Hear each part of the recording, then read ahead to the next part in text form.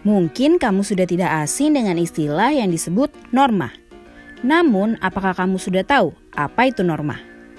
Nah, kali ini Great Kids bakal membahas tentang apa itu norma, mulai dari pengertian, jenis-jenis, dan fungsinya. Secara sederhana, norma adalah kaidah atau aturan tidak tertulis yang berisi perintah, larangan, dan sanksi. Norma berlaku untuk manusia dan biasanya berlaku di dalam lingkungan masyarakat kids. Oh iya, meski merupakan peraturan tidak tertulis, masyarakat secara sadar mematuhi norma-norma yang berlaku.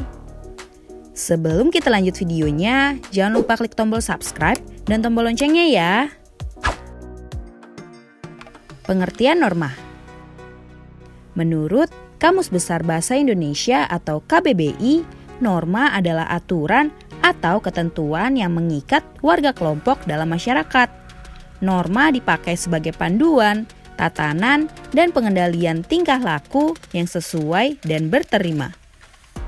Jenis norma di dalam masyarakat ada beberapa jenis norma yang di antaranya adalah sebagai berikut.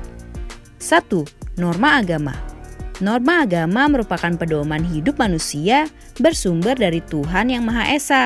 Norma agama terdiri dari perintah, ajaran, dan larangan. Perintah adalah perbuatan yang harus dilakukan, larangan adalah perbuatan yang tidak boleh dilakukan, sedangkan sanksi adalah konsekuensi atau hukuman yang diberikan kepada seseorang yang melanggar peraturan.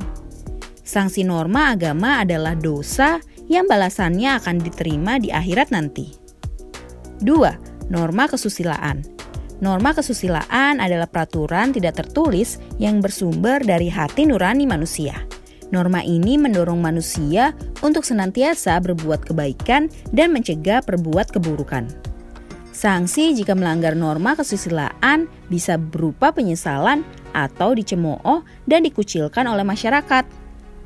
3. Norma kesopanan Norma kesopanan bersumber dari pergaulan manusia yang didasarkan atas hal-hal seperti kebiasaan, kepatutan, dan kepantasan yang berlaku dalam masyarakat.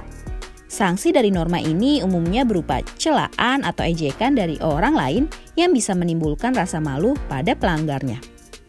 4. Norma hukum Norma hukum merupakan pelengkap atas norma-norma lainnya. Norma hukum bersumber dari negara atau pemerintah yang termuat dalam undang-undang. Norma ini bersifat memaksa dan memiliki sanksi tegas yang nyata. Sanksi tersebut memaksa dan mengikat kids. Contohnya antara lain berupa hukuman penjara atau denda. Fungsi norma Norma memiliki peran penting di lingkungan masyarakat kids. Soalnya, kalau tidak ada norma, maka bisa terjadi kekacauan, keributan, atau kerusuhan. Nah, berikut ini fungsi norma. 1. Menciptakan kehidupan di masyarakat menjadi aman dan tertib.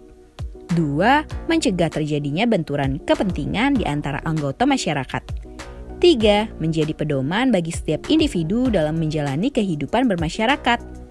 4. Mengatur tingkah laku masyarakat agar sesuai dengan nilai yang berlaku. 5. Membantu mencapai tujuan bersama masyarakat. Nah kids, itu dia pengertian dan fungsi norma. Sekarang sudah semakin tahu ya. Sampai di sini dulu ya videonya. Jangan lupa like, komen, subscribe, dan share ke teman-teman lainnya ya kids. Bye-bye!